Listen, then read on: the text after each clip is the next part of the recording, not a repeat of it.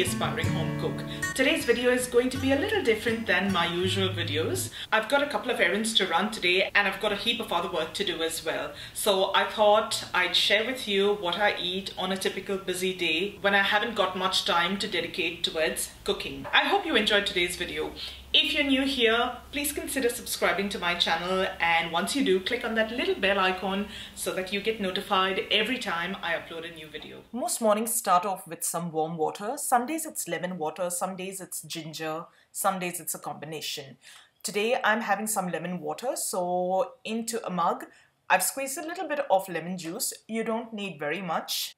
And I'm going to top that off with some hot water. I give this a little stir I spend a little time sitting and planning my day out while I sip on this cup of water. It's a nice mindful way to get the day started. A little later in the morning, I move on to breakfast. Now, during the winter months, breakfast is usually a nice warm bowl of oatmeal porridge. This is a quick, hearty, wholesome, and delicious breakfast option. I use old fashioned rolled oats. I season the oats and then bring it to a boil using a combination of water and milk. I like my oats nice and thick and creamy and I find that a combination gives me the best results. Now, if you haven't tried hot oatmeal porridge or if you'd like to see how I make my oatmeal porridge, I've recently recorded a video on five different oatmeal recipes that are all based on this basic way of cooking oats. I'll leave a link to that video right here so that you can go check that out as well.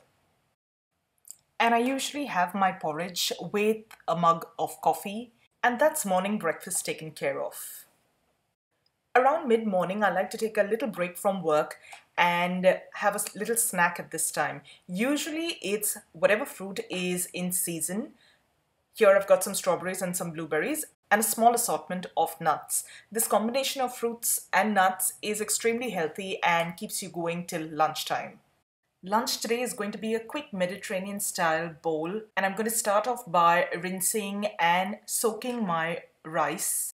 While the rice is soaking, I've got my oven preheated at 200 degrees C. I'm going to roast a few vegetables. I'm starting off by chopping up some eggplant into little cubes like so and then I'm going to pop them all into a large mixing bowl. I'm going to drizzle over some olive oil and season with a little salt to taste. And I'm going to toss that all around well.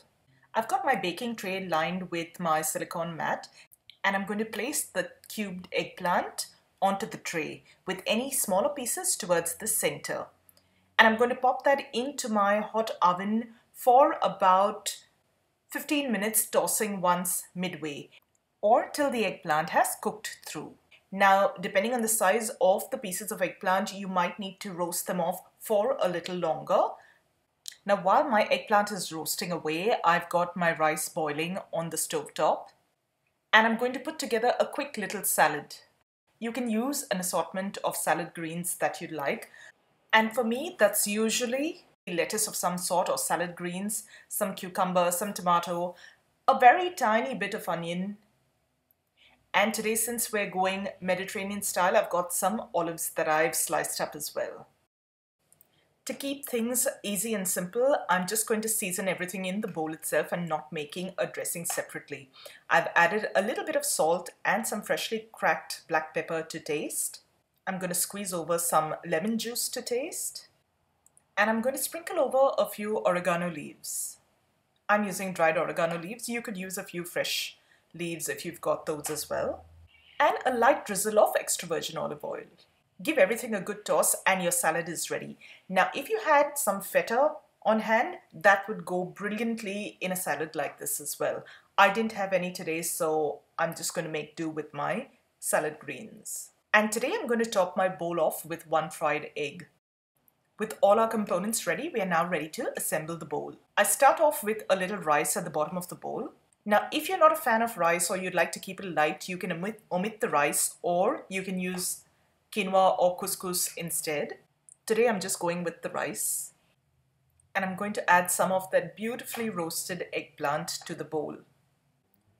Next, I'm going to pop in some salad. And today, because I have them in the fridge, I'm just going to add a couple of stuffed peppers to the bowl. Top it all off with the fried egg. And I'm finishing off this bowl with some homemade roasted red pepper hummus. I will have that recipe up on the channel very soon. This hummus was so delicious and it tied everything together beautifully. And that was a quick, easy, warm lunch bowl ready for me with no fuss at all. Now, some days after lunch, I have the urge for something sweet, and today I'm going to snack on one of these chocolate coated pineapple rings. I picked this up recently at Costco, and they are absolutely divine. Now, around 4 o'clock ish, I like to have a cup of tea. Off late, I've really been enjoying these fruit infused teas I've got a couple that I absolutely adore, and today it's going to be this forest fruits infused tea. Now, dinner is going to be a simple stir fried noodles. I will share a detailed recipe for this on the channel very soon, so stay tuned and watch out for that. Today, I'm just going to briefly run you through how I make my stir fried noodles. So, I start off by chopping uh, some red chilies I'm using a bird's eye chili. You can choose to leave it out or use a milder chili if you'd like. And I've sliced some onions. I'm also going to separate those little onion slices so that they get distributed well in the pan. And I'm going to chop up some carrot. I'm going to prep some spring onions, both the white and the green parts. Next, I'm chopping up some capsicum or green bell pepper. You can use red or yellow if you've got that on hand and you prefer those as well. I almost always have some green pepper on hand, so that's what I'm using here today as well. I'm going to slice off a few mushrooms, about four to five should do. I'm going to mince up some ginger and some garlic. Now with the chopping done, I'm going to prep my noodles. Today I'm going to use a pack of these Singapore noodles. You'll typically find this in the Asian food section. Sometimes some varieties can also be placed in the refrigerator or the freezer section of your grocery store. So I'm going to go ahead and prep these as per the instructions on the packet. I'm just going to put these packets of noodles into a bowl and top them up with some boiling water and let them stand till they've softened and loosened up a bit. With the noodles done, I'm moving on to the sauce. I like to have the sauce ready to go so that when the pan is ready, all I have to do is take this one little bowl and pop it into the pan. I've got about one to one and a half tablespoon of soy sauce here. I'm also going to use a little bit of hot chili sauce. Now the bottle says that it's a hot chili sauce, but it's, we find it quite mild. So I'm going to add about a tablespoon of that sauce as well. A little bit of rice wine vinegar. I'm going to add about a teaspoon or thereabouts. And lastly, I'm going to add some sweet chili sauce. Now, if you don't have sweet chili sauce, you can add a little bit of sugar or even honey works well. So I'm going to add one to two tablespoons of this sweet chili sauce. Give it a good stir and set this aside. Now, the beauty of this sauce is that you can tweak it to suit your likings. Taste a little bit of it, and if you feel that you need a little more sourness or a little more sweetness, or whatever the case might be, you can adjust those quantities. We can now start cooking off our stir-fried noodles. Into a hot pan, I'm going to add some peanut oil. I like to start off with the eggs first. So I'm going to crack in a couple of eggs and quickly and very lightly scramble them. As the eggs are cooking, I like to toss them up and break them up into little pieces that I can then add to the noodles at a later time. I'm going to set this aside in a little bowl and add them to the dish later on. Add in another tiny splash of that peanut oil to the pan and we can now start stir frying our vegetables. Make sure that the pan is nice and hot at this stage. Into the pan, I'm going to add the mushrooms first. I find that they take the longest to cook. Give it a stir and cook them off till they've browned off a bit. When the mushrooms are nice and brown and meaty, add in your ginger and garlic and give it all a good mix. Next, I'm going to add in the chili and stir that through as well. At this point, the aromas coming from that pan will be absolutely divine.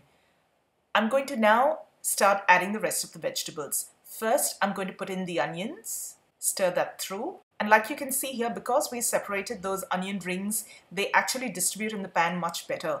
If not, I find that they stick together and you get a large clump of onion and I personally don't like that. I'm going to now add the bell peppers and stir that through as well. At this point, you want the onions and the bell peppers to fry off just a tiny bit and get a little bit of char on them. Next in are the spring onions. You can reserve some of the greens if you'd like to garnish your noodles with it before serving. I've just put them all into the pan, stir that all through, and I'm now adding the carrots. I find that the carrots that we get here cook off really fast, and personally, I don't like the carrots mushy. That's the reason I put them in at the end. You're now going to let this stir fry on a high heat till the vegetables are done to your liking. I like my vegetables with a little bit of crunch, so I'm not going to cook it for very long. When the vegetables are almost done, I'm going to add in about a teaspoon or so of sesame oil. Now this sesame oil is crucial for that beautiful Chinese takeout kind of flavor and aroma. So if you can get your hands on some, please do. I always have some of this sesame oil in my pantry. You can now add in the sauce. And you're going to have to move fairly quickly from here on now because you don't want that sauce to burn. Give everything a good stir and you can see that the sauce has almost immediately started bubbling and simmering. I'm now going to add the drained noodles and give it one good stir. At this point, almost all of the cooking is done. You just want that sauce to coat the noodles really well. So take a little time, be gentle with it, but make sure that the noodles have a nice coating of sauce on it. I'm going to add the eggs back into the pan and stir that through as well. After adding the noodles, I usually cook it off for about another minute just to let everything heat through and your stir-fried noodles are ready. You are now ready to serve. And for a final flourish, I'm going to sprinkle some finely sliced red chilies on the top. If you don't want the added heat, you can leave this out completely. I'm going to sprinkle on some sesame seeds. And lastly, I'm going to finish it off with some crispy onions. I've only stumbled on these crispy onions recently, a few months ago, and I think they add a nice touch to dishes like this. And that's dinner for me today. So guys, I hope you enjoyed today's recipes and today's video. If you did, don't forget to give this video a thumbs up. And if you'd like to see more videos like this, leave me a comment and let me know. And thank you so much for joining me today. I'm going to see you really soon with another delicious recipe. So till then, take care. Bye.